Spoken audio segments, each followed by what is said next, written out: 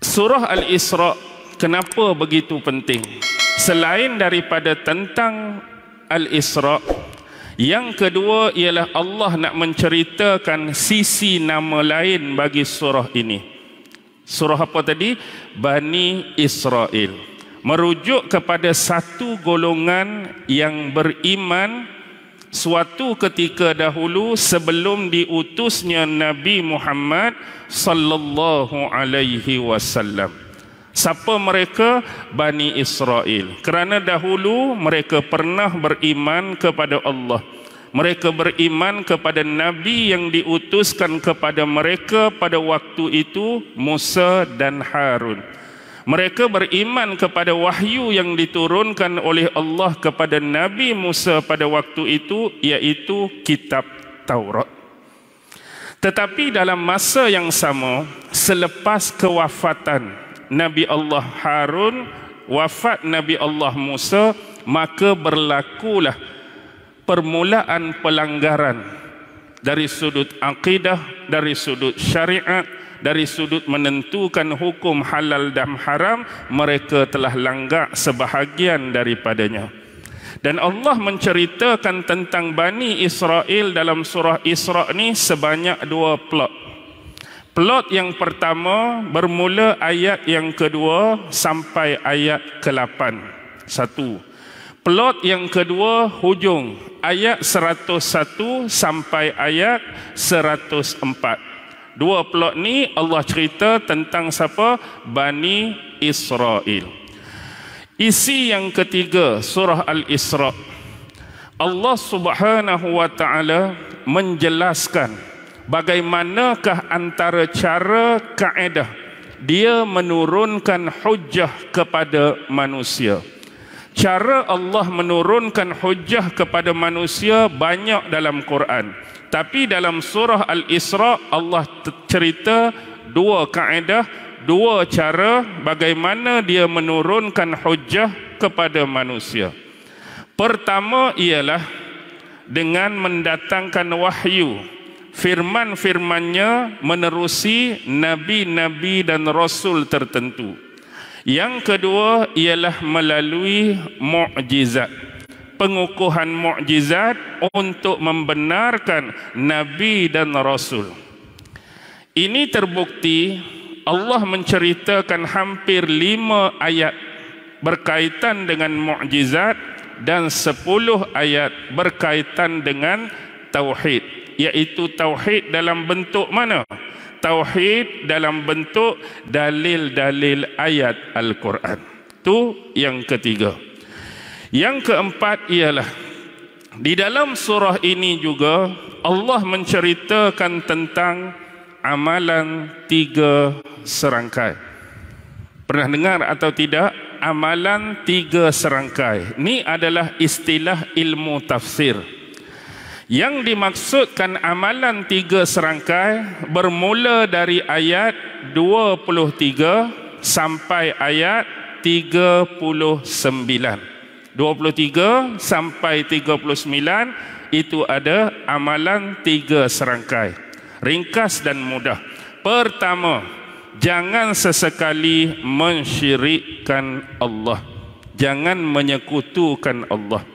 Yang kedua, senantiasalah berbuat kebaikan. Dalam istilah agama senantiasa melakukan amalan yang soleh dan yang ketiga jangan sesekali menzalimi. Bukan sahaja diri sendiri bahkan lebih jauh jangan sesekali menzalimi manusia ataupun insan lain antara yang ditekankan di dalam ayat-ayat tersebut dalam konteks berbuat baik. Pertama ialah berbuat baik kepada kedua ibu bapa kamu.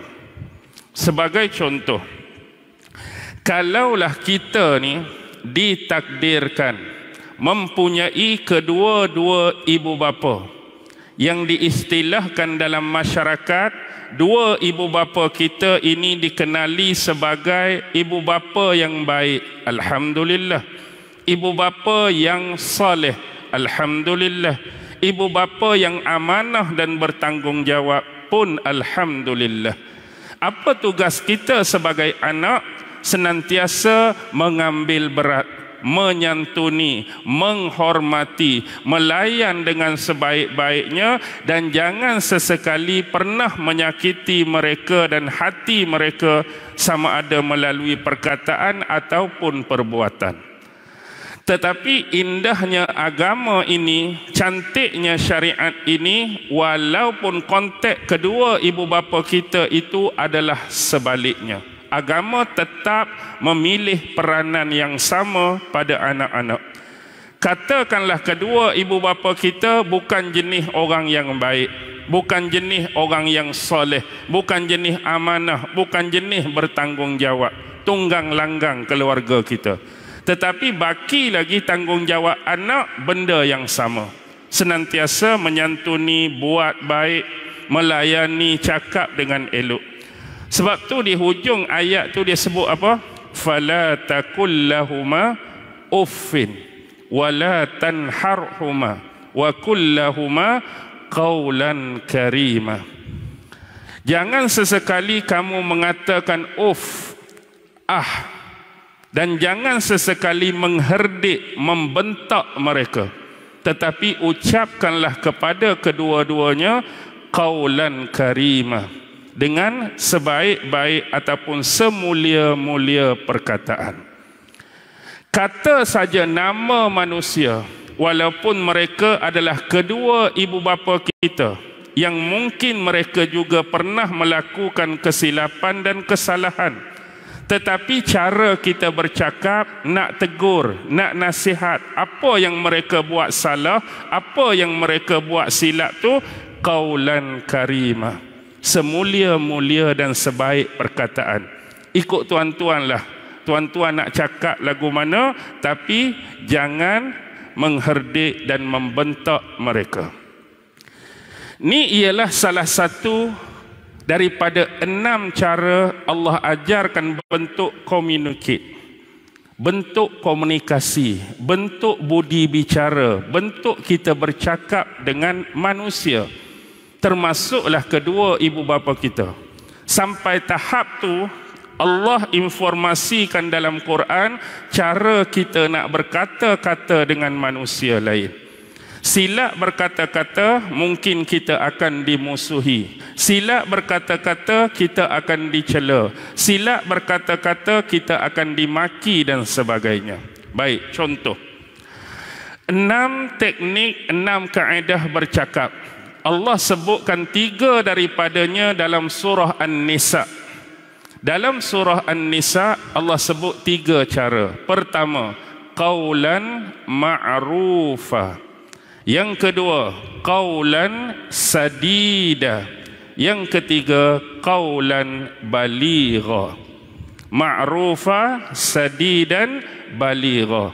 Dalam surah Al-Isra ditambah dua lagi qaulan karima. Dengan kedua ibu bapa dan qaulan maisura. Qaulan maisura. Ni pun payah ni. Qaulan maisura macam ni contoh.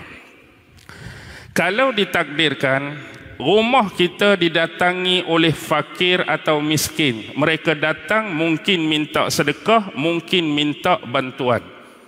Jadi selalunya time kita ada harta, time kita berduit, kita tak banyak cakap, tak banyak soal.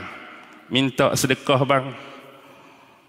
Ambil 10 ringgit. Mudah kita, time ada duit. Minta sedekah bang, 20 ringgit. Minta bantuan bang, 50 ringgit. Time ada duit. Tapi ada masa kita sendiri waktu tu tak ada duit. Tak boleh nak bagi apa. Tapi time tu lah mereka datang minta pada kita dan kita waktu tu tak ada sesuatu yang boleh diberi dan dibahagikan kepada mereka.